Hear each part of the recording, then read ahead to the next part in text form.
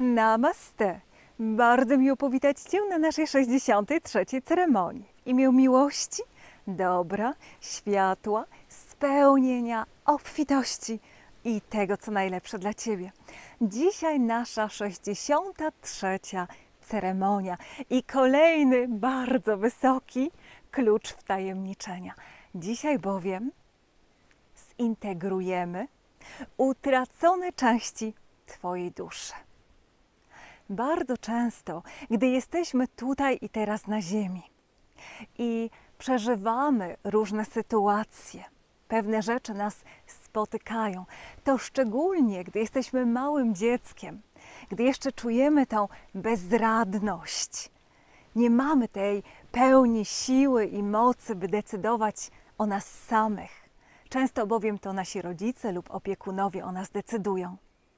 To wówczas tak często mają miejsce sytuacje, gdzie tracimy części naszej duszy, a raczej wypychamy je na margines, aby zabezpieczyć się, ochronić przed bólem i cierpieniem.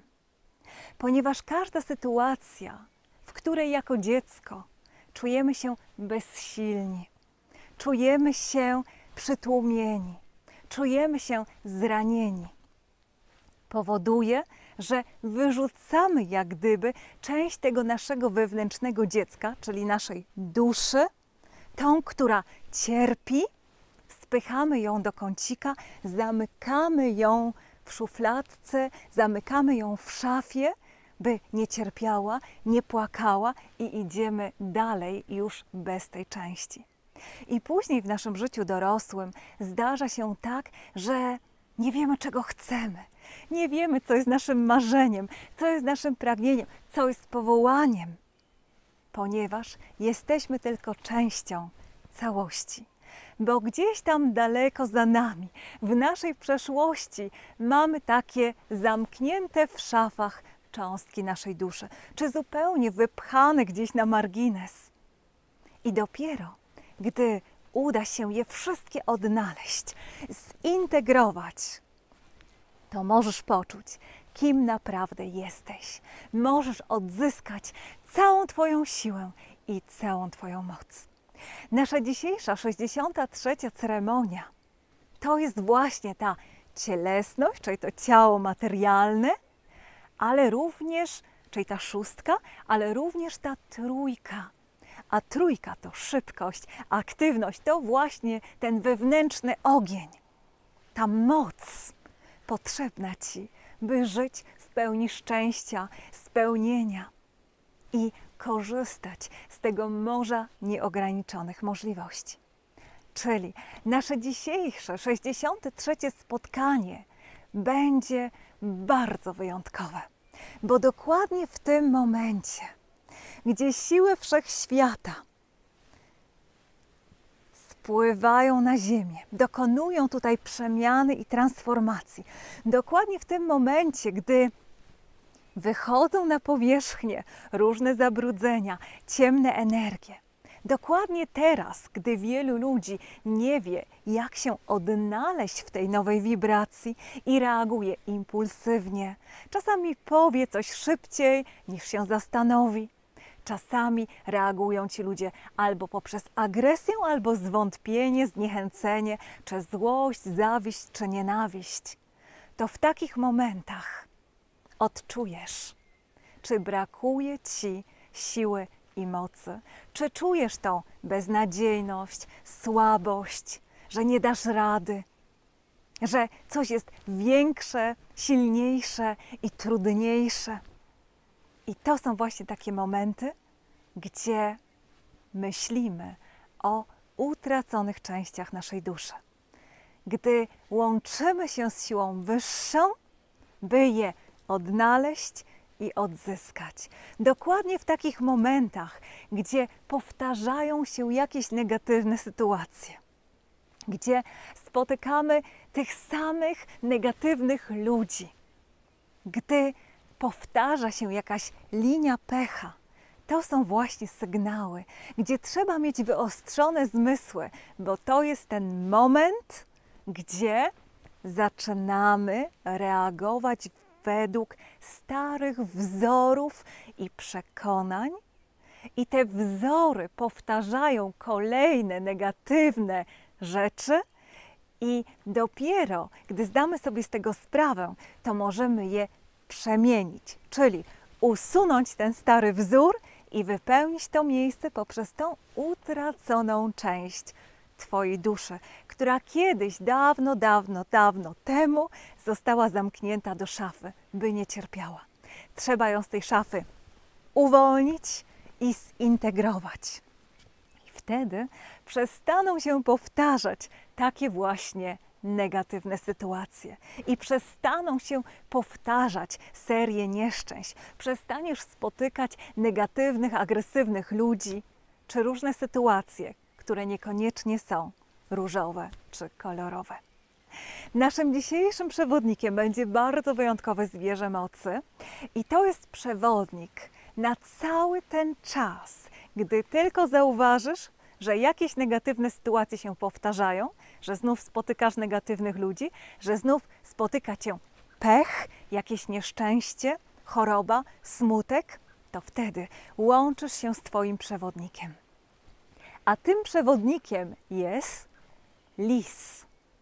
Ten nasz rudowłosy przyjaciel, który jest tym połączeniem pomiędzy Tobą a Twoją duszą wyższą.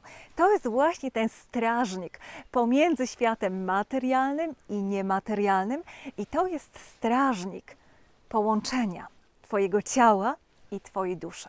Czyli zawsze, jeżeli chcesz nawiązać głębszy kontakt z Twoją duszą wyższą, jeżeli chcesz odnaleźć utracone części duszy, jeżeli chcesz je zintegrować, to łączysz się dokładnie z tym przewodnikiem.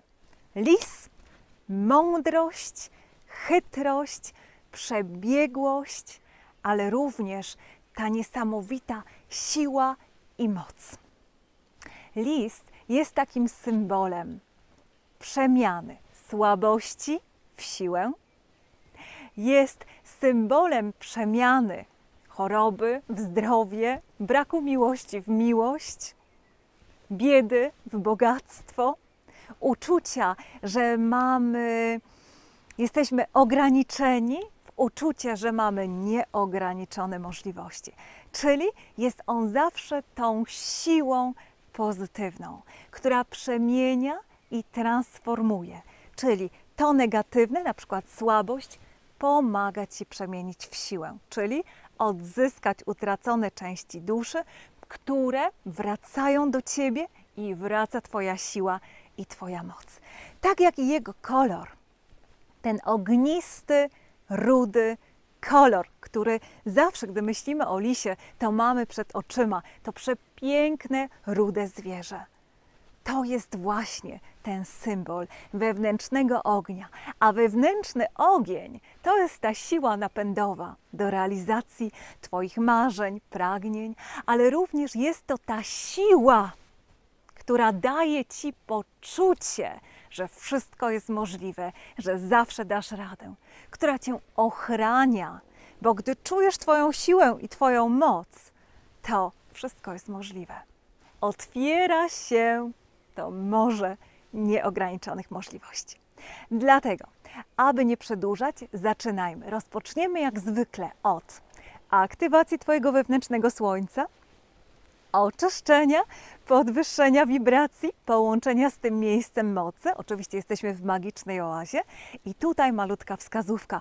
Ponieważ zbliża się noc świętojańska, mogą pojawić się w tle odgłosy muzyki, e, strzałów armatnich, czy jakiekolwiek inne odgłosy cywilizacji, ponieważ jest to czas, gdzie cała mityczna Atlantyda, czyli i wyspa Madera, i wyspa Porto Santo świętuje ten nadchodzący czas świętego Jana i w różnych miejscowościach w tym samym czasie odbywają się huczne obchody tego święta. Czyli jeżeli nasza ceremonia będzie miała w tle te odgłosy cywilizacji, to idziemy dalej, koncentrujemy się na naszym temacie, na tym, co jest w tym momencie ważne, a te wszystkie inne rzeczy ignorujemy. I to jest również bardzo symboliczne. To będzie również taka próba koncentracji, ponieważ lis właśnie tego cię uczy.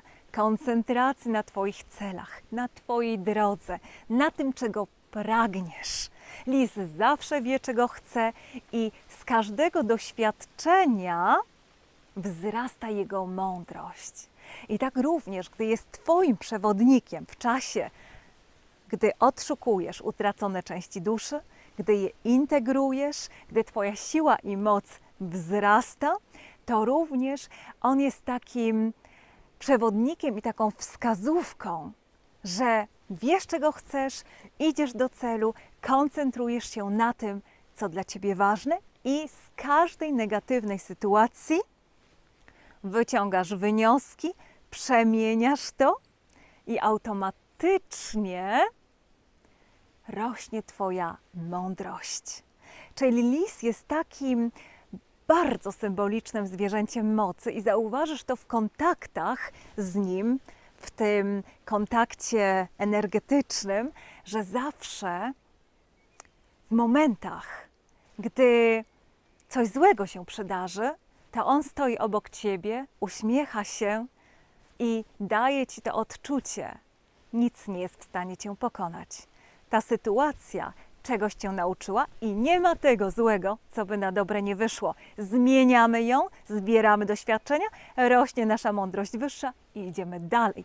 I w kolejnej sytuacji już będziesz wiedzieć o wiele więcej i będziesz chytrze, czyli nazwijmy to tak, mądrze podejmować kolejne decyzje. Dlatego bardzo proszę,